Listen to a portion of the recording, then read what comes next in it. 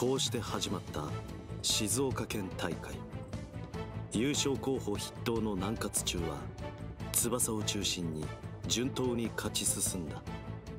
一方の大友中も浦部中山岸田西尾の大友カルテットを中心に守りを固めフォワードの新田がゴールを量産するサッカーでトーナメントを勝ち上がった。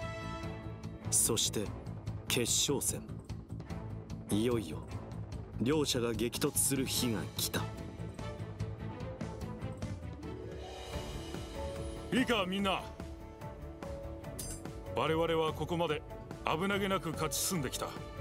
だが今日の相手大友中はちょっと違うぞ。大友中は今大会無失点のチーム。その戦い方はまず守りだ。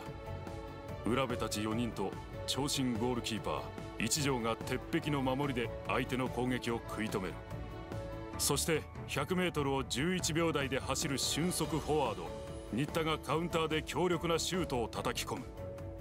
単純な戦術だがその守備の硬さ速攻の速さは間違いなく全国クラスだ。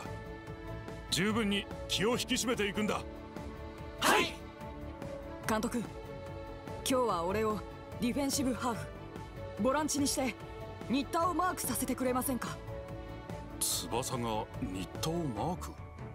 俺がいつものように攻撃に重点を置けば大友中ただ一人の攻め手の新田をフリーにすることになってしまいます。